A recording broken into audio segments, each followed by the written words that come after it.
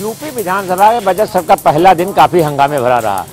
सपा सपाइयों ने पहले सपा विधायक जो है, चौधरी चरण सिंह की प्रतिमा पर जो है आंदोलन करते रहे और उन्होंने काफ़ी को विरोध जताया और उसके बाद राज्यपाल जब वहाँ पहुँची तो उनका जो है राज्यपाल की सलामी के बाद जब वो अंदर पहुँची तो सदन में उनका काफ़ी विरोध हुआ। सारे सपा के लोगों ने बुरी तरह जो है प्रदर्शन शुरू कर दिया और हंगामे के कारण जो है राज्यपाल का क्या भाषण दे रही थी? लोगों को पता नहीं चल पा रहा था। इस पर डिप्टी सीएम ब्रजेश पाठक ने कहा कि सपाइयों के ब्लड में ही दंगा है और जो है दंगा फसाद करना इनका काम है, इसलिए जो है हंगामा कर रहे हैं। लेकिन सत्ता पक्ष के विरोध में इनका लोगों कहना था सपा का कि लगातार सच्चा पक्ष जो है बेरोजगारों का और जो है गरीबी का मखौल उड़ा रही है और ये जो है लगातार लोगों को परेशान कर रही है। जबकि दावे बड़े बड़े किए जा रहे हैं और उनको पूरा नहीं हो रहा। सारे दावे खोखले साबित हो रहे हैं तो इसको लेकर के हंगामा रहा।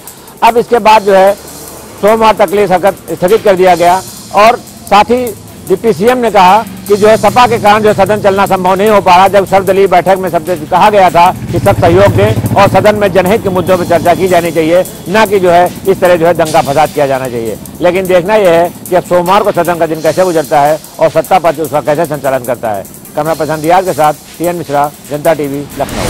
शुरुआत में धर्मांतरण का मामला काफ़ी सुर्खियों में रहा और जैसे में उनके भाई विनोद बी लाल समेत 11 लोगों को वित्त अनियमितता मामले में जेल भेजा गया था और आरबी लाल पर भी मुकदमा दर्ज हुआ था और धर्मांतरण मामले में भी कई जिलों में इन पर एफआईआर दर्ज हुई थी, जिसके बाद पुलिस ने आरबी लाल को जेल भेज दिया था। आरबी लाल ने दूसरी बार अपनी जमानत याचिका के लिए जिला न्यायालय में अर्जी दी थी, जो कि वो खारिज हो गई है, जिसके बाद आज शुआर्ट्स में कर्मचारी और सुरक्षा कर्मियों ने विरोध प्रदर्शन जारी कर दिया है, क्योंकि उनका कहना है कि उनको काफ़ी दिनों से उनको तनख्वाह नहीं मिली, जिसके कारण उनको अब घर चलाना भी मुश्किल हो रहा है और ऐसे में अब वहाँ के टीचर और सुरक्षा कर्मियों प्रदर्शन कर रहे हैं, जिसका वीडियो और फ़ोटो भी सोशल मीडिया वायरल हो रहा है। अब देखना होगा इसमें क्या होता है, ये तो देखने वाली बात होगी। जनता टीवी के लिए सैयद मोहम्मद आमिर, प्रयागराज।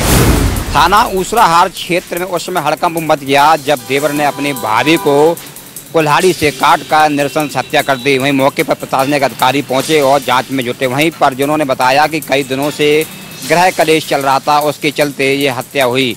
वहीं मौके पर मायके पक्ष के पहुँचे, उन्होंने हत्या का आरोप लगाया। बताया जा रहा है कि कई बार एक घर में गए क्लेश हुआ था, हुआ करता था। उसके बावजूद भी कई बार शिकायतें भी दर्ज कराई गई, लेकिन उसके बाद भी कोई एक्शन नहीं लिया गया। जिसके बाद आज एक नव बहू ने जो है तरीके से जो हत्या हुई है तो पूरी तरीके से लगातार ये आरोप लगाया जा रहा है कि जो देवर था, कई बार प्रताड़ित किया करता था, लेकिन उसके बावजूद भी किसी प्रकार की कोई भी एक्शन नहीं लिया गया, जिसके बाद में आज जो है, एक कुल्हाड़ी मार कर नरसन हत्या कर दी। अब देखना होगा आखिर मौके पर जिस तरीके से देवर फरार हुआ, क्या कार्रवाई की जाए। कैमरा पर्सन के साथ राम कुमार राजपूत जनता टीवी इटावा वाराणसी कोर्ट का फैसला आने के बाद ज्ञान वापी मस्जिद और व्यास खाने पीठ की आज पूजा वही जुमे की नवाज़ हुई ज्ञान वापी मामले को लेकर जो व्यास पीठ का है, उसको लेकर मुस्लिम अलीवन जामिया कमेटी ने सुप्रीम कोर्ट का कल रुख किया था और आज हाईकोर्ट पहुँचा।